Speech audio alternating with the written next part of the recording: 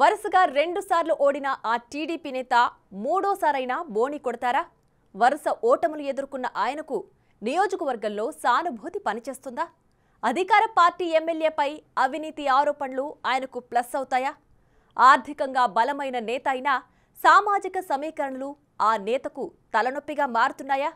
ఈసారైనా అక్కడ టీడీపీ జెండా ఎగురుతుందా? ఇంతవరకు గెలుపు గుమ్మం తొక్కని ఆ లీడర్ ఎవరు ఆ నియోజకవర్గం ఏది?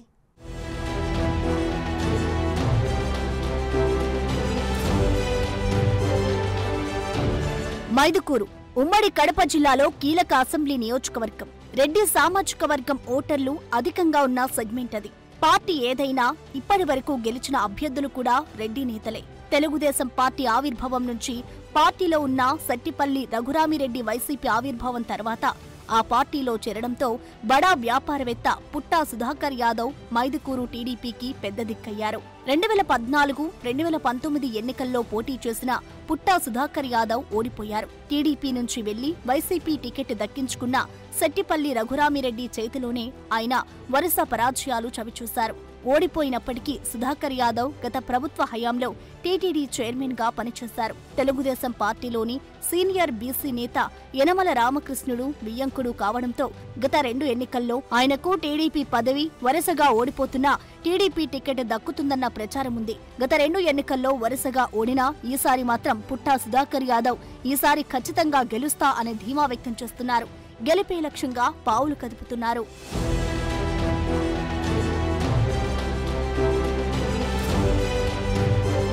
ఈసారి సుధాకర్ యాదవ్కి మైదుకూరు మాజీ ఎమ్మెల్యే మాజీ మంత్రి అయిన సీనియర్ నేత డిఎల్ రవీంద్రారెడ్డి మద్దతు ఇవ్వడం కలిసి వస్తుందంటున్నారు.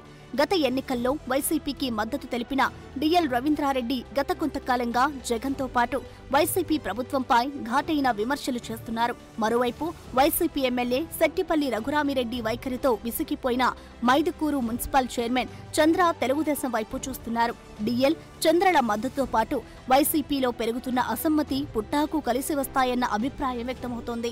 అయితే పుట్టా సుధాకర్ యాదవ్ నియోజకవర్గంలో కార్యకర్తలకు అందుబాటులో ఉండరని ఉన్నా కేవలం తమ యాదవ సామాజిక వర్గానికి మాత్రమే ప్రాధాన్యత ఇస్తారన్న నెగిటివ్ ప్రచారం జరుగుతోంది.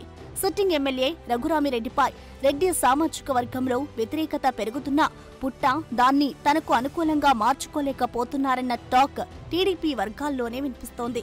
ఏది ఏమైనా ఈసారి మైదుకూరులో తెలుగుదేశం పార్టీ జెండా ఎగరేసి మైదుకూరు నియోజకవర్గంలో హ్యాట్రిక్ ఓటముల్ని తప్పించుకుంటారో లేదో చూడాలి.